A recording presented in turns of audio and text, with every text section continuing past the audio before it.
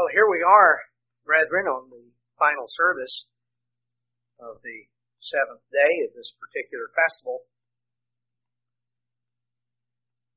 We noted this morning particularly the example of King Hezekiah and the fact that Passover signaled a time of the rededication of God's people.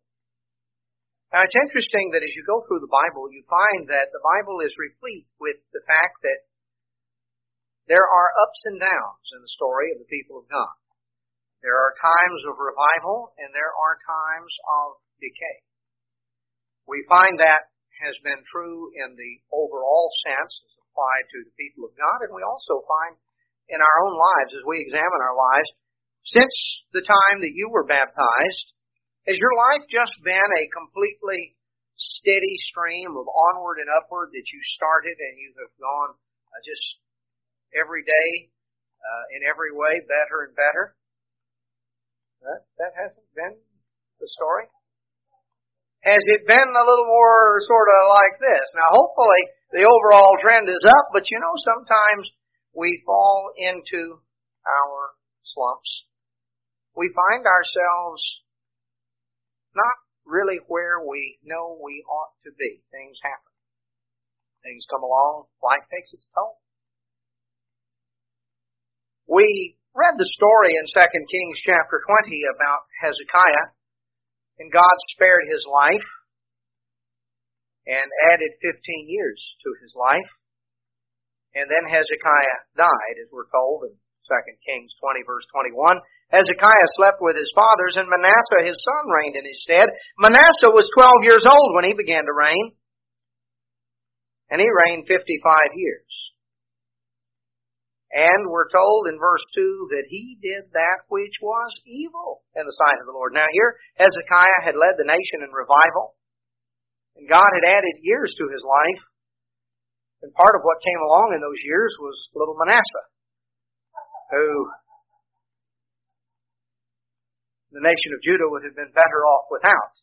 Uh, you know, sometimes it goes that way. We, we, we, uh, what we think can be, what we think is a blessing can sometimes, uh, have the, you know, contain within it, uh, the, the kernel of certain problems and, and difficulties, and sometimes what we think is a terrible calamity, uh, actually, uh, contains the seeds of some of our greatest blessings. I think we can a lot of times look at that and realize that something we thought was terrible, uh, in the aftermath of it, we recognize what God was working out. Well, Manasseh came along, we're told in, in uh, 2 Kings 21, 2, he did that which was evil after the abominations of the nations.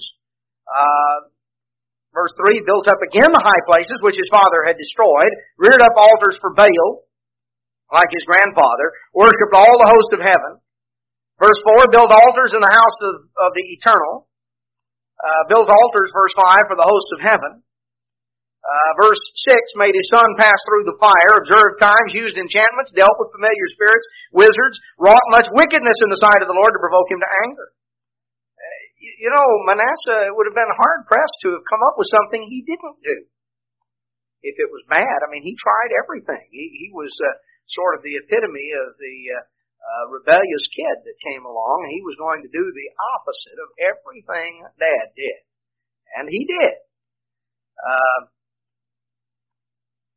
So we notice uh, in verse 7, he set up a graven image of the grove that he had made in the house, uh, of which the Lord said to Solomon and to David, In this house I have chosen Verse 8, neither God had told them, neither will I make the feet of Israel move any more out of the land that I gave to their fathers, only if they will observe to do all that I have commanded them, and according to all the law that my servant Moses commanded them. I would call your attention here that there are two laws.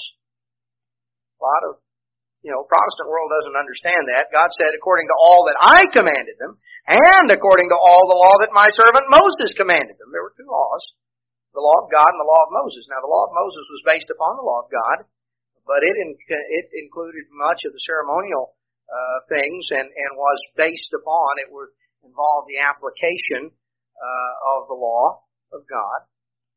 The spiritual part of it was the law of God, the things that God directly commanded them. He spoke the words of the Ten Commandments himself. Moses uh, gave them many of the other things.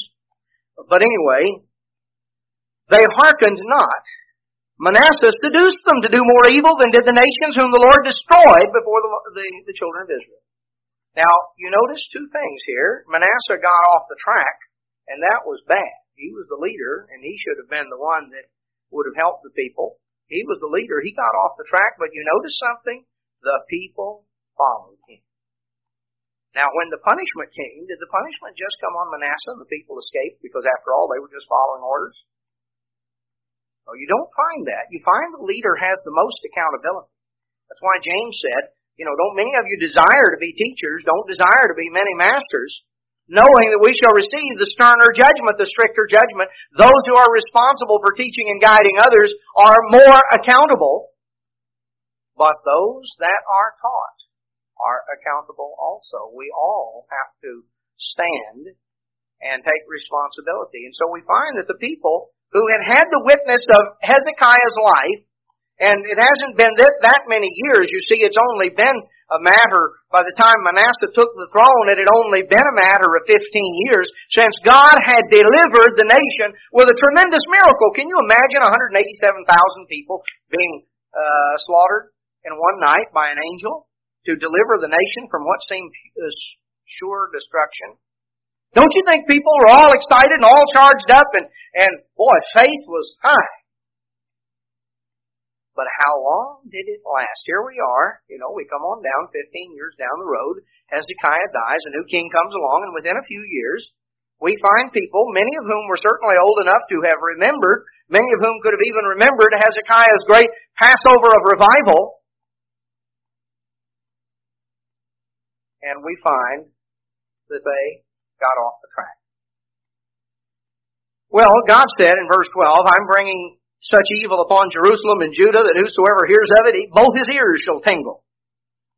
You know, there comes a point when God has enough, and He says, I am going to deal with them, and there's not going to be any question.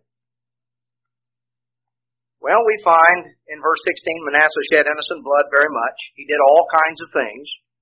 And then in verse 18, he died. And uh, his son, Amon, came along, reigned a couple of years, and did that which was evil, and he died. And then we find in chapter 22, verse 1, that there was a little eight-year-old boy, Manasseh's grandson, who was eight, when he began to reign, and he reigned 31 years. Verse 2, he did that which was right in the sight of the eternal, walked in all the ways of David his father, turned not aside to the right hand or to the left. That in the 18th year uh, of the of King Josiah that uh, they began the repair. As here he was, a, uh, a a young man. They began to repair the breaches, began to build up the uh, the temple once again. And in the course of this, of repairing the temple which had been shut down, they found something very important. Hilkiah the priest, in verse 8 of chapter 22, said unto Shaphan the scribe, I have found the book of the law in the house of the eternal. Now, there had been an attempt during the days of Manasseh to destroy the Bible. The Bible is the book. Men have sought to destroy, they've tried to burn it, uh, they have banned it. They have burned it. They have tried to ignore it. They have condemned it. They have done everything they could to try and destroy the Word of God, and yet the Word of God has remained and has continued. God has preserved His Word down through time. So here was Manasseh having tried to destroy the Bible, but there was a copy of the book of the law that had been secreted in the temple someplace, and in the process of cleansing the temple, they found the book of the law. They found the Bible. Remember, you know, at this point in time, there weren't multiple Bibles all over the place because every copy of the Scripture had to be copied by hand. Manasseh had obviously tried to destroy every copy that he could. There may be portions that remained, but here was an entire copy, the official copy of the book of the law. And so they brought this, verse 9, they brought this word to the king.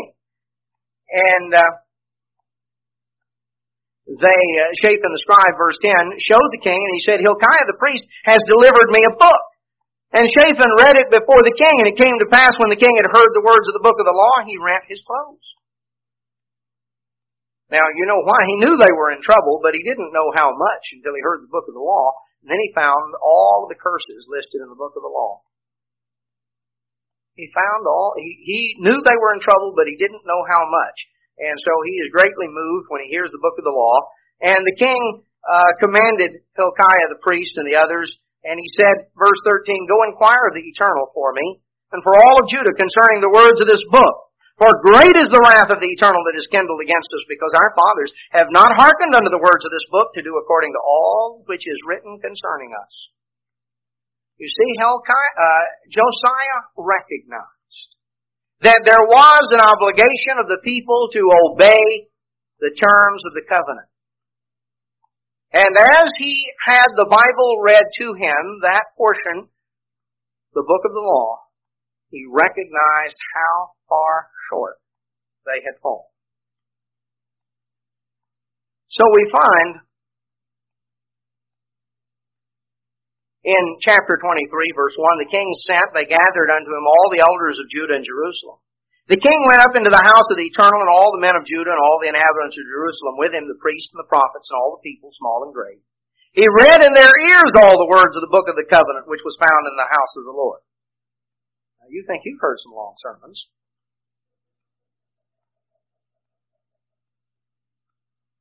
He started with Genesis 1 1 and he went all the way through to the end of Deuteronomy. Now, I didn't say he did it uh, without stop, but uh, uh, he went through and he read them all the book of the law.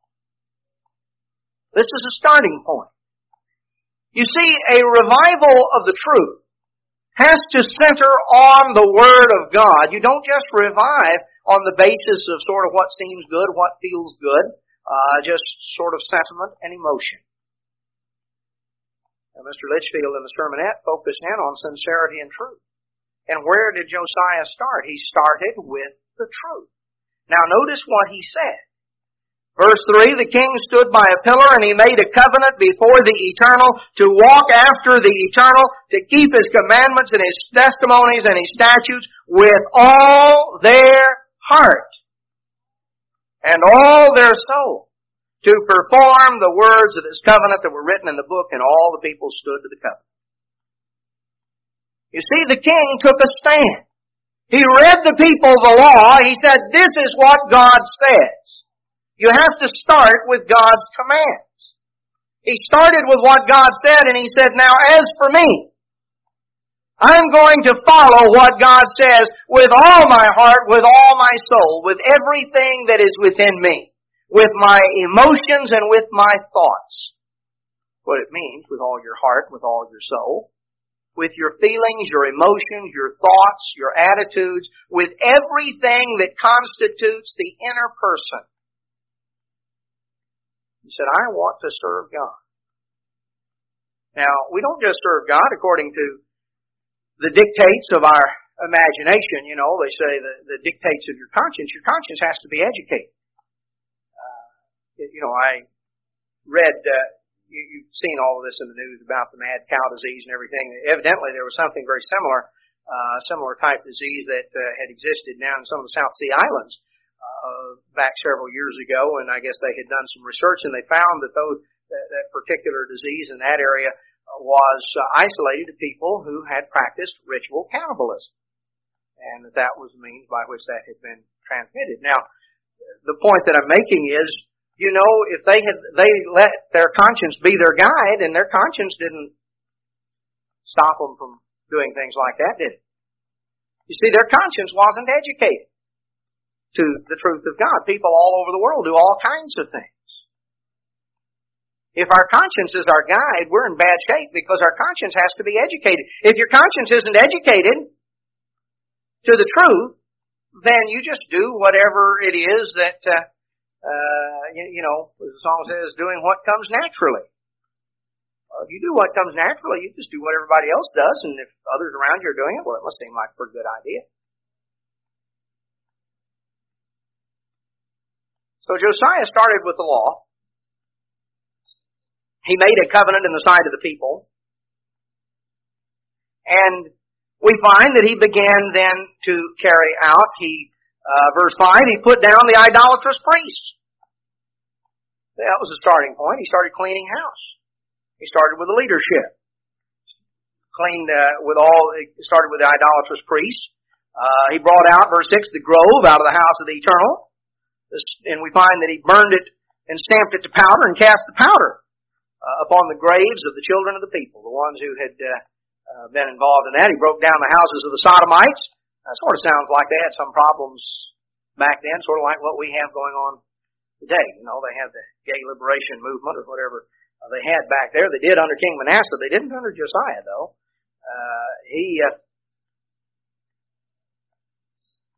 he broke down the houses of the Sodomites that were by the house of the eternal, where the women wove, wove hangings for the groves. I mean, this was just incredible. Here, this was right here at the temple. He brought all the priests out of the cities of Judah and defiled the high places where the priests had burned incense. We find all the things that he did. Uh, verse 14, he broke in pieces the images, cut down the groves, filled their places with the bones of men. And uh, uh, even certain prophecies that were fulfilled. In verse 19, all the houses of the high places that were in the cities of Samaria, which the kings of Israel had made to provoke the Lord to anger, Josiah took those away too, and he did to them according to all the acts that he had done in Bethel. He slew the priests of the high places that were before the altars, burned uh, men's bones upon them, and returned to Jerusalem. And the king commanded all the people, saying, Keep the Passover unto the eternal your God, as it is written in the book of the covenant. There's not been holden such a Passover from the days of the judges that judged Israel, nor in all the days of the kings of Judah, nor the days of the kings of, of Israel. But they held the Passover in the 18th year of King Josiah. And we find uh, uh, the workers with familiar spirits and the wizards and the images and the idols and the abominations. Uh, he put those things away that he might perform the words of the law which were written in the book that Hilkiah the priest found. And like unto him was there no king before him that turned to the eternal with all his heart and with all his soul and with all his might, according to the law, all the law of Moses, neither arose there any after. Notwithstanding, the Lord turned not from the fierceness of his great wrath. You see, God said, I'm going to do it, but I'm not going to do it in the days of Josiah. Because you see, the people conformed to Josiah's reform. Josiah turned to the Lord with all his heart, with all his soul, with all his might, but it's very apparent when you read the account here and you read it in Second Chronicles, the people did not. They conformed to Josiah's regulations. Josiah said, I'm going to set things back on track, and he moved with great emphasis and zeal. He was a young man and he had the zeal of youth. And he was zealous once he took the throne to begin to get things back on track. And when he recognized what the law of God said, he turned to it with all his heart, with all his soul, with all his might. That's what we're told. Now you remember Jesus Christ said, we're to love the Lord our God with all our heart, with all our soul, with all our might. That is the first and great commandment. The second is likened to it. You shall love your neighbor as yourself. Josiah was an example of absolute wholehearted zeal and we find that this reform culminated in the celebration of a great Passover, a great Passover that was such as had not been celebrated in all the days of the history of the nation since the days of the judges. Now, Chronicles, the account in Chronicles makes it plain, specifically, since when? It says that uh, in uh, Second Chronicles, uh, 35:1, Josiah kept the Passover unto the eternal in Jerusalem. They killed the Passover on the 14th, on the 14th day of the first month. We're told in verse 18, there was no Passover kept like that in Israel from the days of Samuel the prophet. Neither did all the kings of Israel keep such a Passover as Josiah kept, and the priests and the Levites and all Judah. Again, the Passover and the days of unleavened bread were a key part of a great revival among the people of God, but in this particular case, it is apparent that it was a revival in Josiah's case. Josiah turned to the Lord with all of his heart. The people got in line with the program. But as you go on through the story and you can read it and you can go back to the book of Jeremiah and other places, you find out that the people didn't get on track in their hearts. In their hearts. And you see, that is the crucial thing. We find the story over and over that the people have tended to respond to leaders whether they be good or bad. Most people. There have always been those who have seen beyond the human leader. And if a man was a man who was faithful to God and was God's true servant, they gave him their support and they followed him as he followed God. But over and over what we've seen is that people have been all too apt to just go with the flow to just bend with the wind. Now let's go back to the book of Exodus.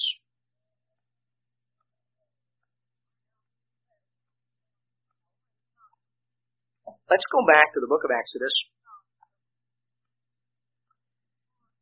Exodus chapter 13 and verse 6. Seven days you shall eat unleavened bread. And in the seventh day shall be a feast to the eternal. Unleavened bread shall be eaten seven days. There's no leavened bread to be seen with you, neither shall there be leaven seen with you in all of your quarters. Now we have eaten unleavened bread for seven days, and in the seventh day is a feast to the eternal, and we're here for a feast. We've had a physical feast at noon. We uh, have been here to uh, be a part of a spiritual festival Uh, in the morning and in the afternoon. So here we are on this seventh day, which is to be a feast. Now, as we come on down through the story, we find that in verse 17, it came to pass when Pharaoh had let the people go, God led them not through the way of the land of the Philistines, although that was near.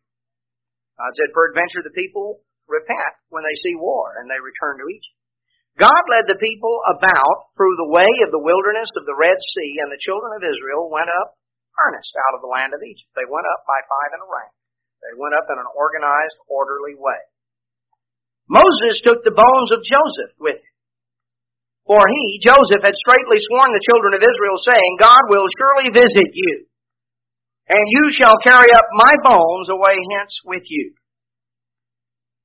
Now this is an interesting thing because you see, when Joseph died in Egypt, he believed God. God had promised that Israel, the descendants of Israel, would ultimately come back into the promised land and inherit. Now, when Jacob had died, he was taken and buried there uh, in the cave that uh, uh, Abraham had purchased to bury his wife Sarah, and had become the family burial plot. And Jacob was taken up and was buried there. Joseph, when he died, said, No, I want to go to the promised land. You see, Joseph died in faith. And he told them as he as they gathered around his bed, he said, When the when the children of Israel, when our people leave Egypt and go to the promised land, I want you to take me with you. I'll be buried here in Egypt. You take my body, you take my coffin, and you bring it with you so that I also might enter the promised land. Joseph died in faith, believing that God would deliver the nation and would bring them into the promised land and give it to them as he had promised. So the bones of Joseph were taken with them. In verse 20, they took their journey from Succoth, camped in Etham on the edge of the wilderness. The Lord went before them by day in a pillar of cloud to lead them by the way.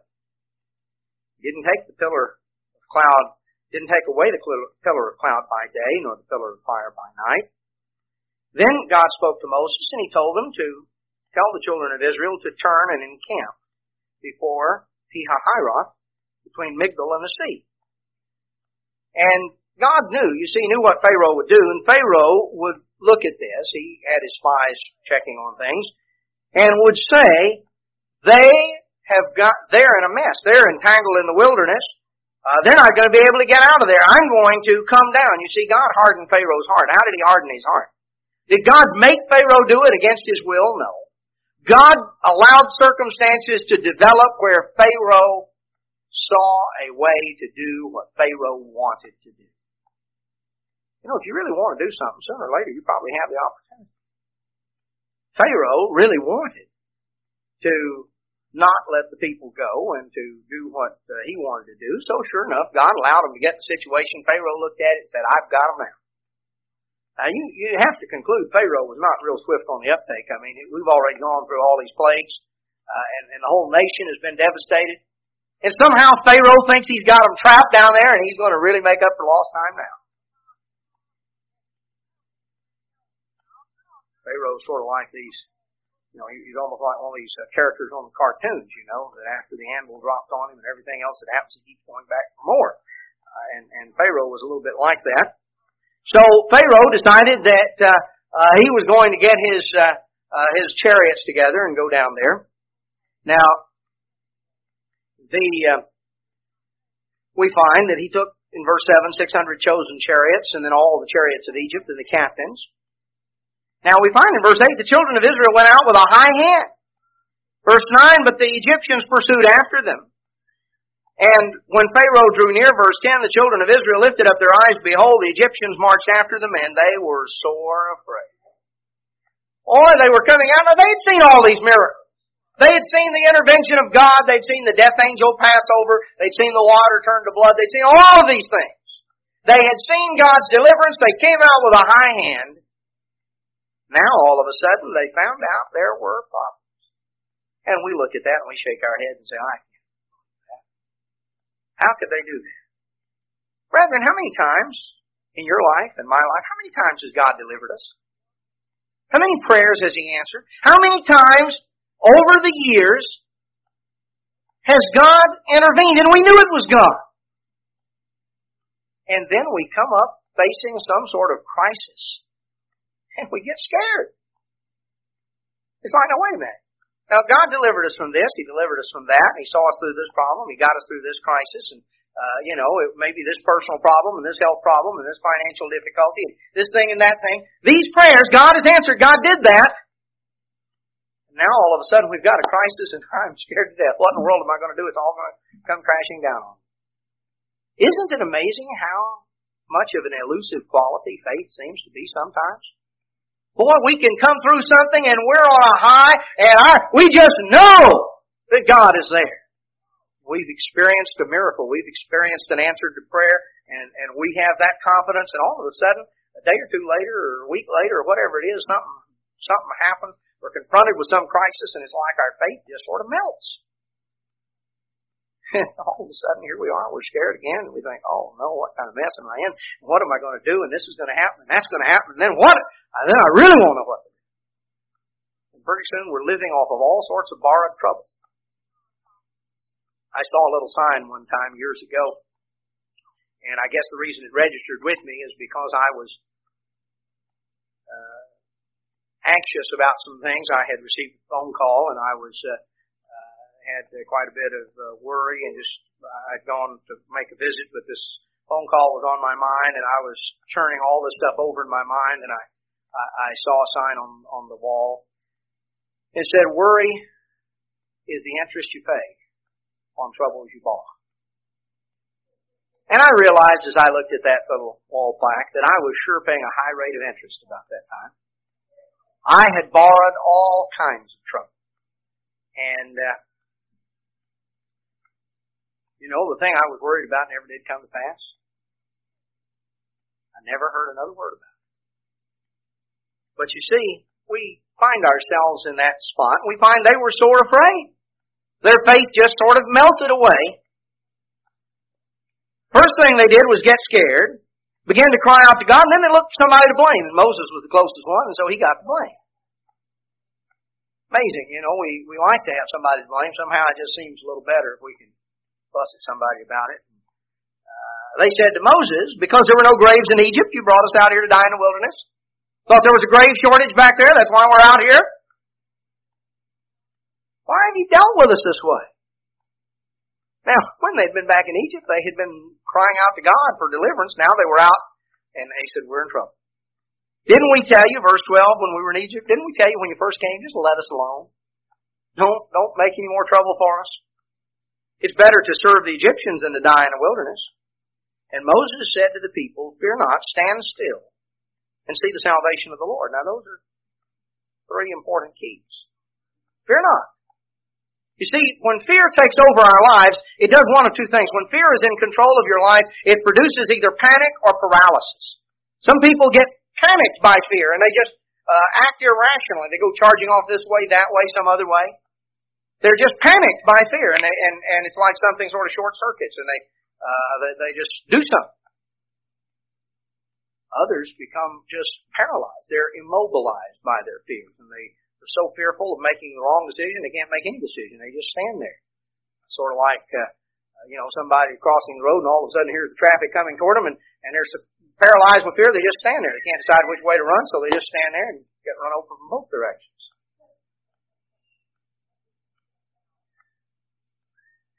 He says, fear not, stand still and see the salvation of the eternal. You know, there is a point where you have to put it in God's hands and just watch and see what God does.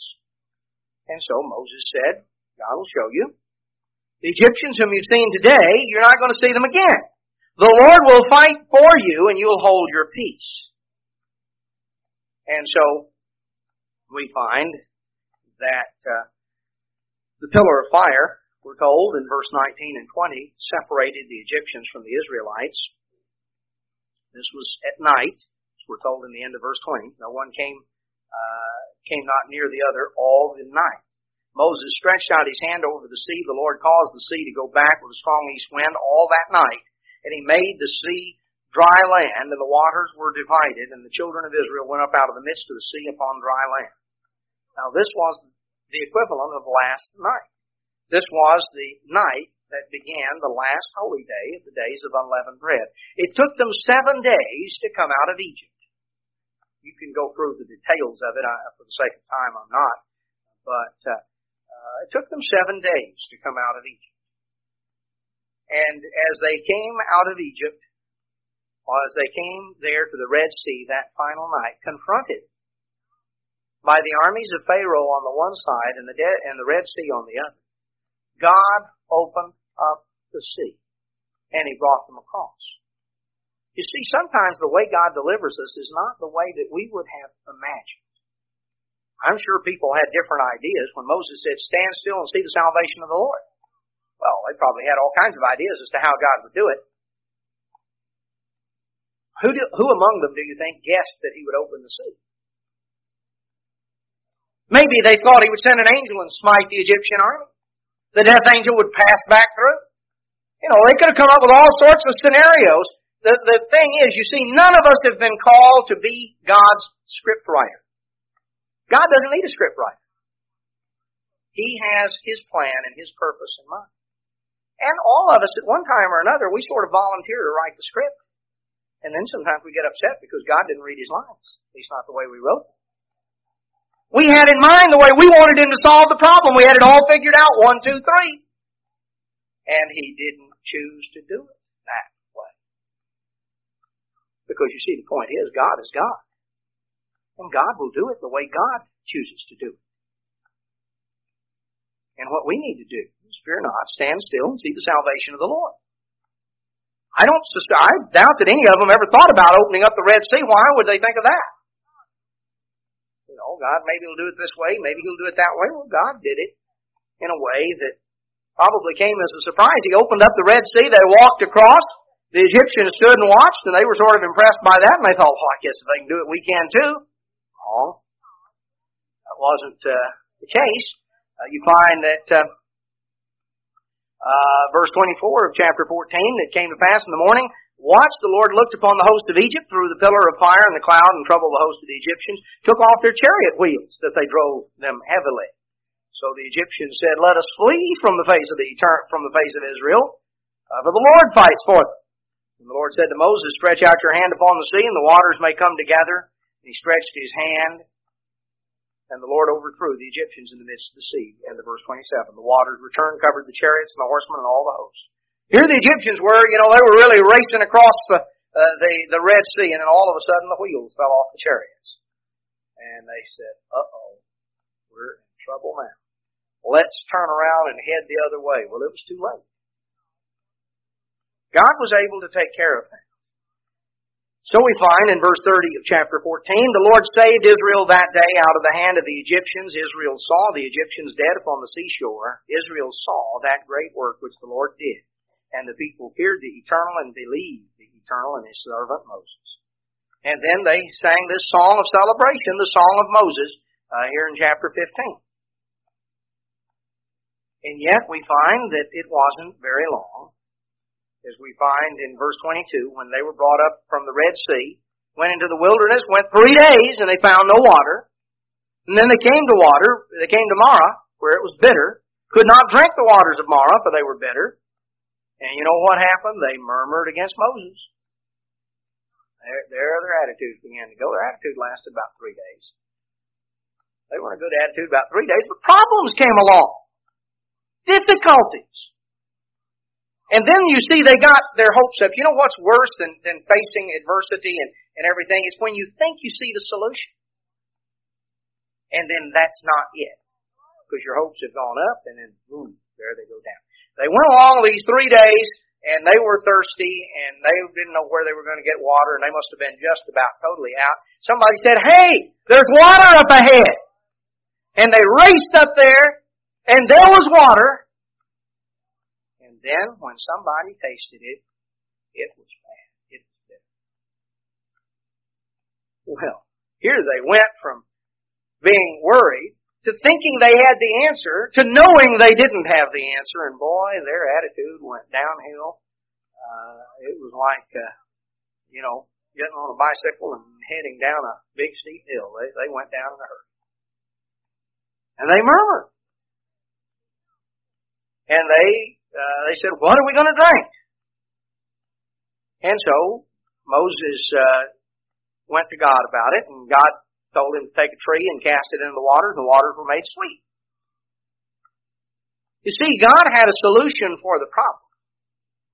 But we find that instead of going to God, they murmured, they complained. Now, when you go back to the book of uh, 1 Corinthians in chapter 10, we read that the things that happened to them were an example for us. To the extent that we wouldn't do the things they did. They were confronted with problems and trials and adversities. God delivered them. The days of unleavened bread, the message of the days of unleavened bread, and particularly this final seventh day, is a message of deliverance. It's a message of deliverance. The God that we serve has a plan and a purpose for each of us individually, and He has a plan and a purpose for His work. God has a great plan and purpose that He's working out. But you know, all of us get sidetracked sometimes and we get confronted by problems and difficulties. We become discouraged. And we find as we go on through the story, over and over, some of the, tra- the tests and the trials. We find these days of unleavened bread introduced here and we find this first holy day introduced. Well, you know the story. They wandered the 40 years.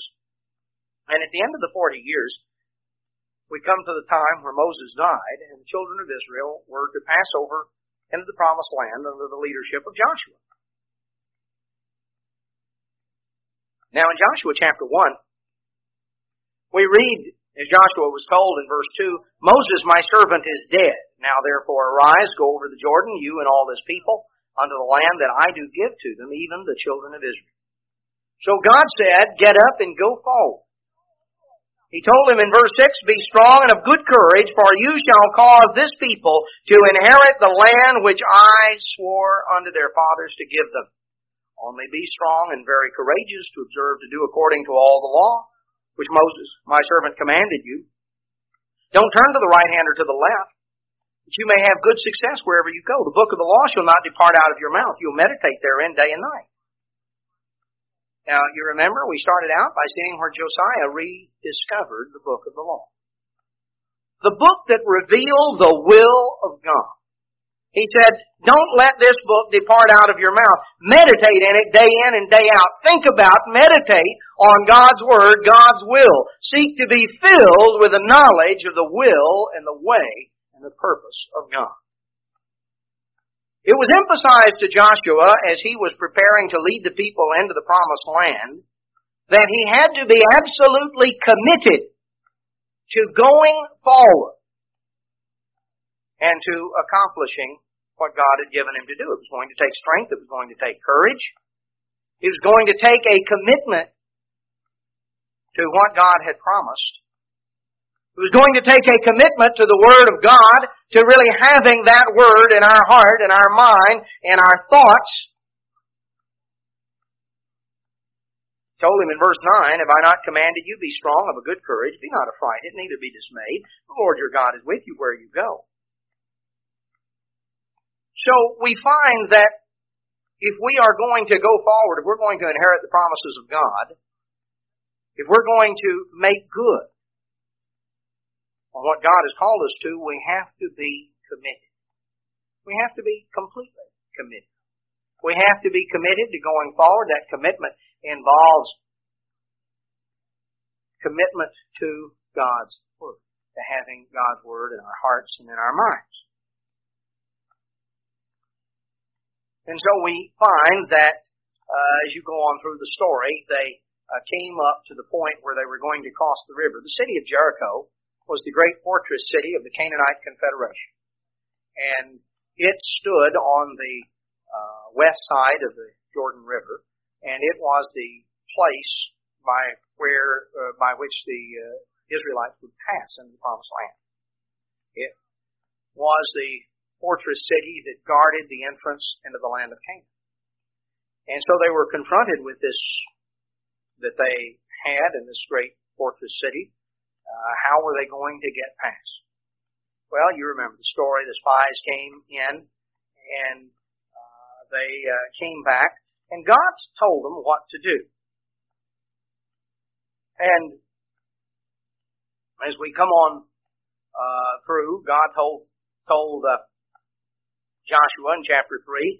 Uh, Joshua got up early that morning. They removed, came to the Jordan, and uh, commanded the people, saying, verse 3, When you should see the ark of the covenant of the Lord your God and the priests and the Levites bearing it, uh, you shall remove from your place and go after it. So he told them to follow the ark. Now what did the ark contain? The ark contained the law of God. The ark was symbolic of the presence of God. It contained the tables of the covenant. It contained the law of God. So where, what do you follow? You follow God's presence. And God's presence is where His truth is. Because the book of the law was deposited inside of the ark. You can read that back in Deuteronomy. Moses delivered uh, the uh, uh, Deuteronomy chapter 31, 26. Take this book of the law, Moses told them, put it in the side of the ark of the covenant of the Lord your God, that it may be there for a witness against you. So the book of the covenant was in the side of the ark. The people were told to follow the ark because the ark symbolized the presence of God. That's where the truth was. And so the people of God were instructed that they were to follow the truth. So he was told to do that. In verse 5, Joshua said to the people, Sanctify yourselves. Tomorrow the Lord will do wonders among you. This is in Joshua chapter 3, verse 5. And verse 6, Joshua spoke to the priest. He told them take up the Ark of the Covenant, pass on before the people. Now, it's important, you see, that the people do things in the right order. They followed the Ark. Some of them had gone wading into the Jordan first. They might have found themselves in trouble. But God was ready to deliver them across. Verse 11, the Ark of the Covenant of the Lord uh, of all the earth passes on before you over the Jordan. So we find that uh, uh, the priests came forward and that uh, uh, the uh, as the priest priest came forward that as they walked out into the river, the river began to part, and the priest walked. He brings out uh, in uh, verse 14 of chapter 4, he magnified Joshua in the sight of the people.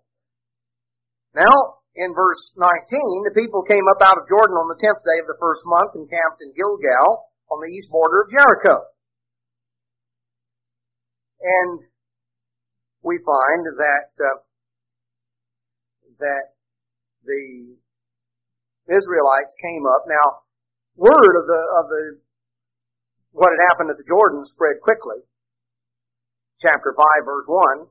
Uh, the kings of the Amorites and the Canaanites and all the others heard how the Lord had dried up the waters of Jordan before the children of Israel, and their heart melted. Neither was there any spirit in them anymore because of the children of Israel. You know, word traveled fast, and uh, all of a sudden the fight was going out of some of these folks. And then at that time, in verse 2, God told Joshua, make knives of flint and circumcise again the children of Israel the second time. You see, they had not been circumcised during the 40 years in the wilderness. That's what we're told in verse 5 people that came out of Egypt were circumcised, but the people that had been born in the wilderness, by the way, as they came forth out of Egypt, had not been circumcised. Now before, the circumcision was the symbol of the covenant, and we're told under the new covenant that we are to be circumcised in the heart. Circumcision is of the heart. That,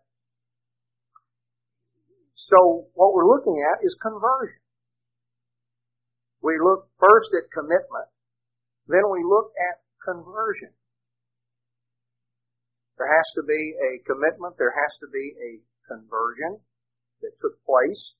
The people entered into this uh, covenant with God. They took upon themselves the sign of the covenant. And so this occurred. Then we're told in verse 10, they kept the Passover on the 14th day of the, of the first month at even in the plains of Jericho, did eat of the produce of the land on the morrow after the Passover, unleavened cakes and parched corn in the self same day. Now, this, uh, if you go through, you can uh, uh, recognize that the uh, uh, the Passover uh, clearly at this point was on a weekly Sabbath, because that way the first day of unleavened bread would have been on a Sunday, in which case it would have coincided with the day of the wave sheaf. Because they were not free, we know that because they weren't free to eat of the produce of the land until the wave sheaf had been offered. And they ate on it on the morrow after the Passover. So that tells us then the first day of unleavened bread was on a Sunday, so it coincided with the wave sheaf.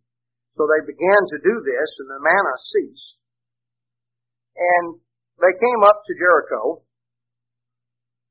and we find in chapter 6 verse 1 that Jericho was shut up because of the children of Israel. None went out, none came in. And so that uh, uh, they were confronted by this siege of the city of Jericho.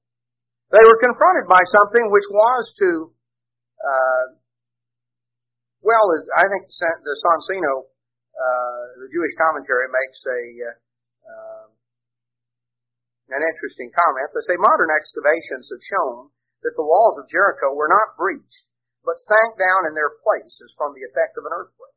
The miraculous manner of Jericho's capture was intended to emphasize to Israel at the outset of their task two thoughts.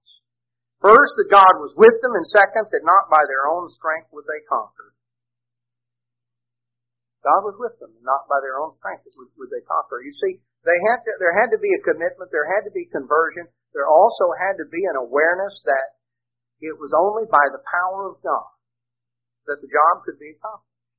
Not by their own strength, not by their own power. They, they were confronted with a great fortress city that had a tremendous store of supplies laid up. The walls were tremendously thick. And what did God tell them to do? He told them, I want you to go out and walk around the wall. Walk around the city every day. And so they compassed the city. Uh, every day, went around it six days. This is Joshua chapter 6 verse 3. Compassed the city, all the men of war going about the city once, this you, thus you shall do six days. Seven priests bearing seven ram horns before the ark, the seventh day, this day, you see, here we are, they kept the Passover, now here we are, the days of unleavened bread, and the seventh day, you shall compass the city seven times.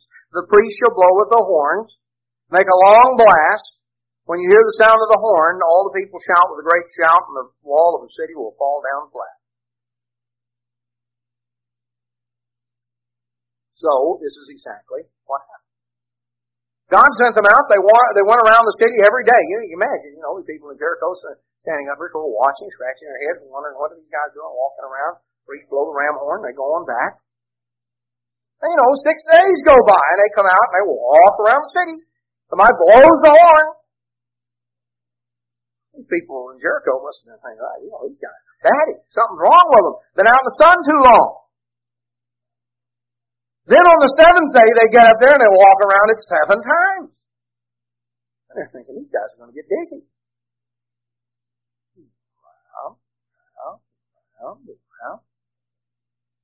Then they sounded the horn, the people shouted, and the walls of Jericho came tumbling down.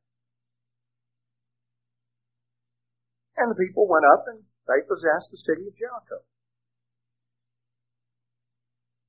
So we find that God's might and God's power was the key to victory.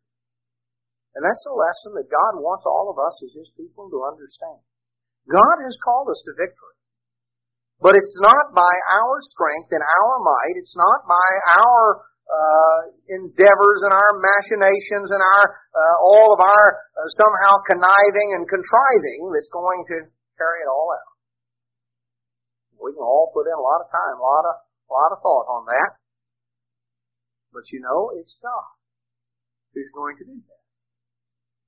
Now God gave them instructions through, through Joshua. He said in verse 18, of chapter 6, you shall keep yourselves from the devoted thing, lest you make yourselves accursed by taking the devoted thing. See, Israel was told you're not to loot Jericho.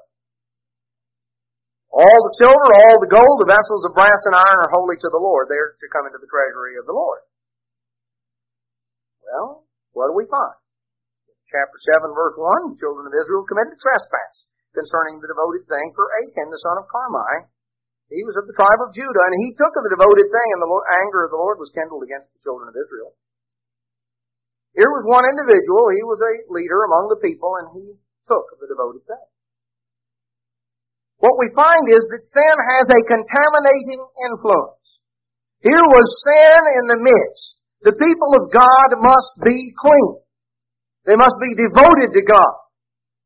Here was one who took of the devoted thing. He treated lightly what God had said. And he brought a curse on the nation. God's blessing was removed. Uh, they had gone in and by a great miracle they had won the battle of Jericho. Now, there was a little village, a little place called Ai that was up the road a little ways, uh, near Jericho. And they said, well, I'll tell you what, we'll just send a few fellows up there sort of do a mop-up operation on Ai. They were feeling pretty good about that time, not having really stopped to consider that they had very little to do with winning the Battle of Jericho. All they did was walk around the city. They did well as long as they followed instructions. But somehow along the line, like a lot of us, they got to thinking that somehow they had something to do with it, and they'd done pretty good. And they could certainly take care of this little place. They wouldn't even have to bother to ask God about that one. It was just a little problem. They, they hadn't they just handled the big one, so they went up there to Ai and uh, said, uh, told Joshua in verse 3, they said, look, uh, let's not bother everybody about this. We'll just take two or three thousand men. We'll just go up and smite Ai. We'll just, we'll take care of them. And so we find that uh, they went up there, about 3,000 men. In verse 4, they fled before the men of Ai. The men of Ai smote of them, about 36, and chased them from before the gate and smote them at their descent, and the hearts of the people melted and became as water. Oh boy, the fight went out of them. I mean, all the starch was gone. They came back with their tail between their legs, and they were really upset. Here they had just uh, had been uh, defeated. Well, they were sort of cocky. They thought they had it in hand, and you see, they didn't have God's blessing. And Joshua goes through and consults God, and what it finally comes out to is that the people must be sanctified, verse 13, and uh, ultimately it comes out that, A- that Achan has stolen the, uh, the devoted thing. Achan told them in verse 21 of chapter 7 uh, that he saw the Babylonian garment and 200 shekels of silver and a wedge of gold and fifty shekels, and he says, I coveted them, and I took them, and they are hid in the earth in the midst of my tent. And so we find that Achan and those that were involved in this thing with him were stoned. There was a very serious matter. Sin is not a light thing. Sin has a contaminating influence. A little leaven leavens the whole lump. The people of God must be clean. God had called Israel for a work. They were to go forward and they were to inherit the promised land. They were to be the people of God. There had to be commitment, there had to be conversion, there had to be an awareness of the need for God's power and God's strength. That was the only means by which they would conquer. But they also needed to learn a lesson that sin has a contaminating influence that spreads. And we see that that was the case. Now in the aftermath, Ai was burnt, and people came forward. And we find that uh, they reiterated the covenant that they had made that in chapter 8 verse 30, Joshua built an altar in Mount Ebal. And in verse 32, he wrote there upon the stones a copy of the law of Moses, which he wrote before the children of Israel. And we find that uh, uh, all Israel and their elders and officers and judges stood on this side of the ark, and on that side before the priests, the Levites that bore the ark. And Israel, Joshua read, we're told in verse 34, the words of the law, the blessing and the curse, according to all that's written in the book of the law. There was not a word of all that Moses commanded which Joshua didn't read before all the assembly. The women, the little ones, and the strangers that walked with him. So, as we come on down, we are confronted with the people making a rededication to God. Now, as we come on through the story, we find that as they proceeded through, there came a battle after the, in chapter 10 and verse 5, the five kings of the Amorites, the king of Jerusalem, the king of Hebron, of Jarmuth, Lachish, and Eglon, gathered themselves together. And uh, so we find in verse 7, Joshua went up from Gilgal, he and all the people of war with him, and all the mighty men of valor, and the Lord said, don't fear, I've delivered them into your hand. And so, we're told Joshua came up upon them suddenly, verse 9. He went up from Gilgal all the night. And these people were chased. And yet, uh, verse 11, it came to pass as they fled from before Israel, uh, the Lord cast great stones from heaven down, great hailstones, and they died. And uh, uh, there were more that died with the hailstones than the children of Israel slew. Then Joshua spoke to the Lord in the day that the Lord delivered up the Amorites before the children of Israel. And he asked for a miracle. Here is one of the most outstanding miracles that ever took place. We're told in verse, uh, we're told on down here in verse 13, the sun stayed in the midst of heaven and hasted not to go down about a whole day. There was no day like that before it or after it that the Lord hearkened unto the voice of a man for the eternal thought for Israel. This is the story of Joshua's long day. Daylight was prolonged for 12 hours. A tremendous event. One of the most impressive, staggering miracles that our mind cannot, can barely comprehend. So we find that just as sin has a contaminating influence, and when the people of God are polluted by sin and God's blessing is removed, there are going to be problem after problem after problem. We also find that when the people of God are pleasing to Him, there is no limit to the power of God to intervene. The God that we serve is a miracle working God. And so there are some important lessons as we look at the book of Joshua. A book that celebrates the conquest of the promised land.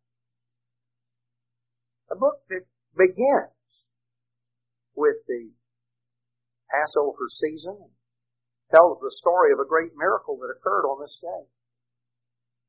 We find that there is lesson after lesson contained in this book as we go forward.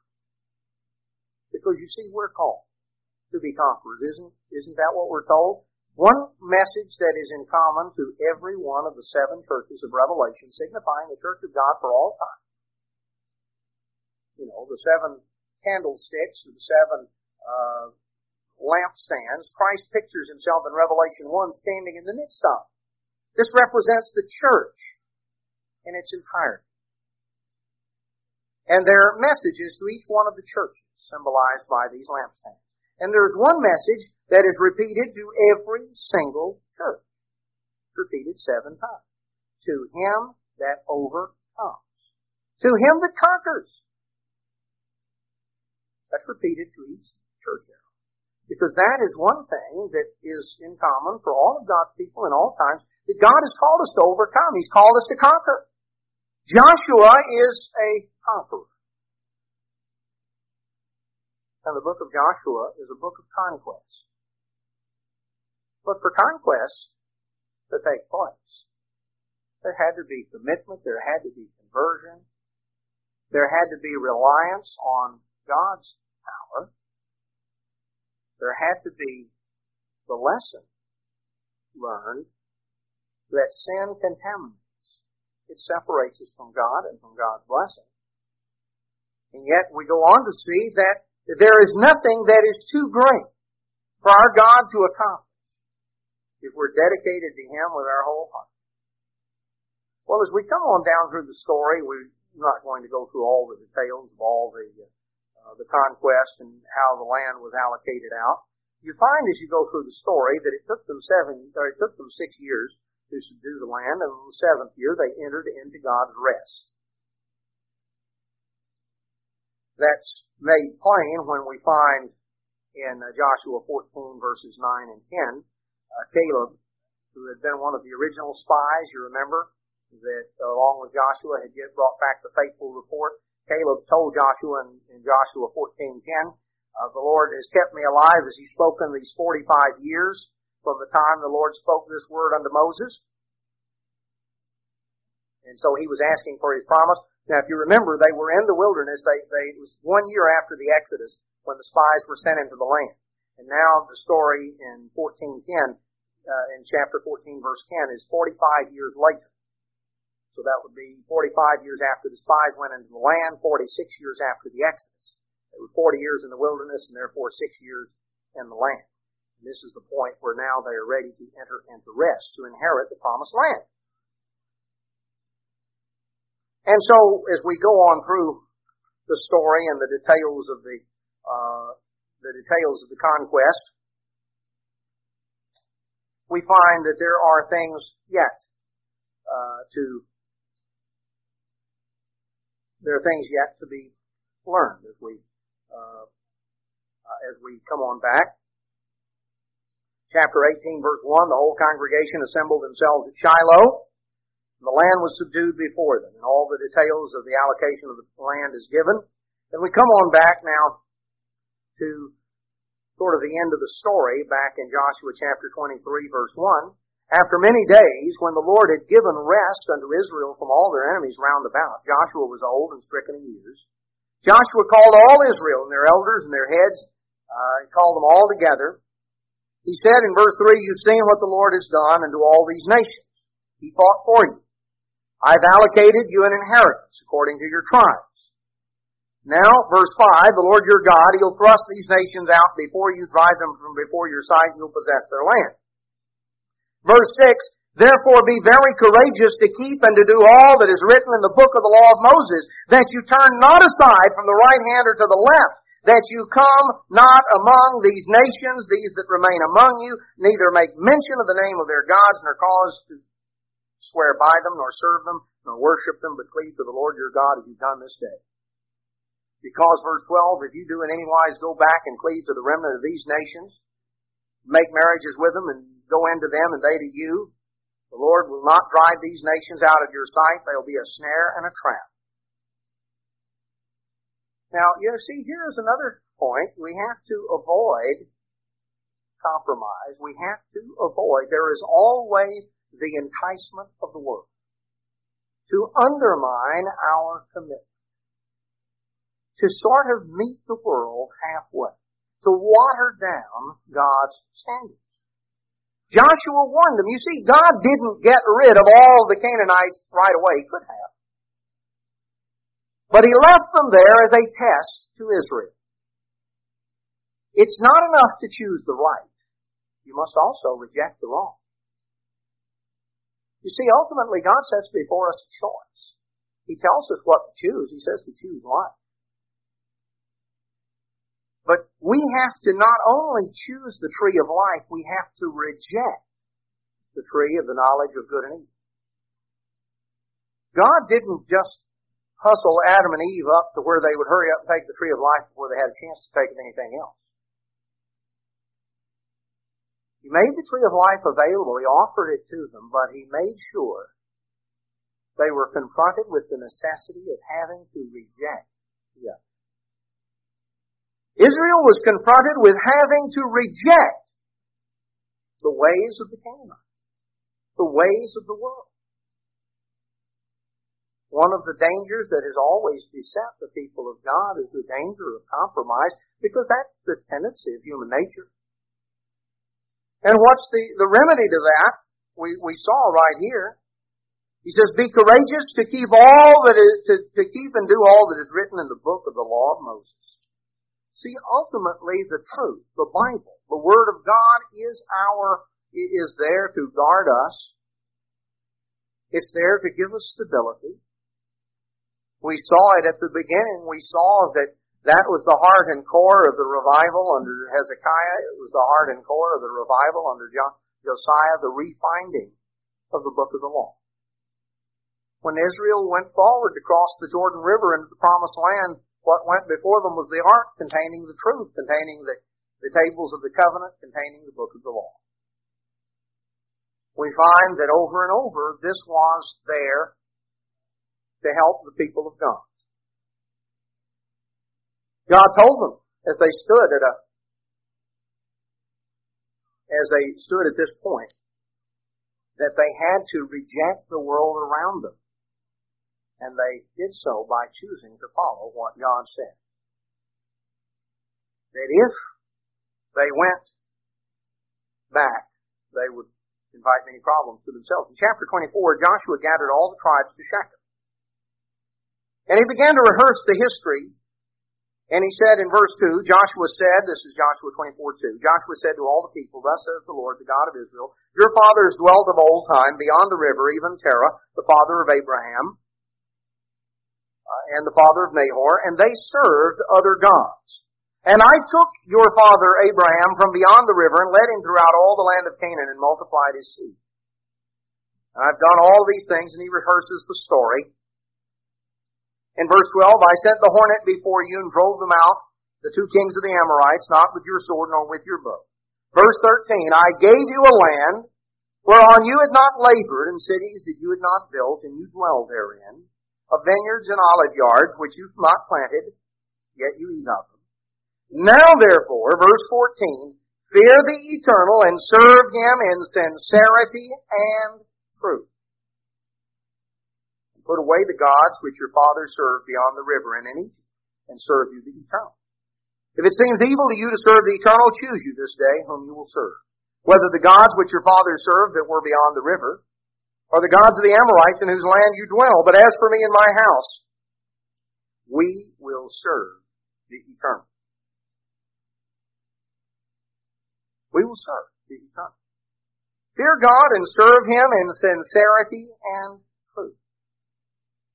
you see, ultimately, that is what God requires. Josiah turned to God with all his heart, with all his mind. He served God from the heart. That's what God asks of all of us. That's what we're told in the New Testament. Paul told the Corinthians that they were to put away the leaven of malice and wickedness, not just the leavened bread uh, the physical leavened bread, but they were to put away the leavening of malice and wickedness and to partake of the unleavened bread of sincerity and truth. Now we heard about sincerity and truth in the sermon. God requires both. We're to fear the eternal and serve Him in sincerity and truth.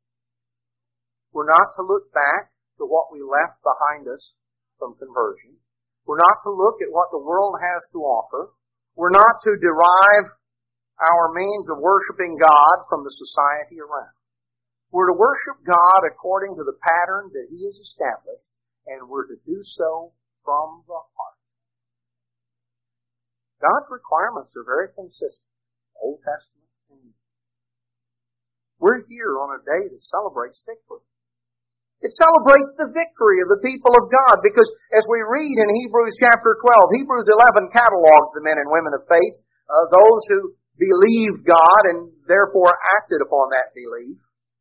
Hebrews 12 tells us that we're encompassed with a great cloud of witnesses, all of these men and women of God who went before, who believed God, who trusted God.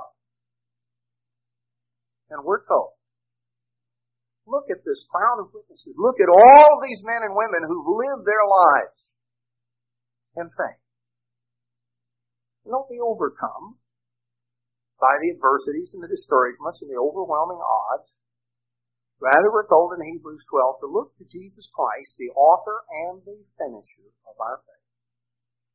And therein lies the answer as to why there are two holy days in the seven day feast of unleavened bread. You see, it takes a miracle to start us out. And it takes a miracle to get us through. It takes a miracle from start to finish to enable us to go forward, to conquer, to win. God has called us to win. He's called us to conquest. He's called us to be conquerors, to be overcomers. We are more than conquerors through Him that loved us and gave Himself for us. Jesus Christ is the author and the finisher of our faith. He's the one to whom we must look.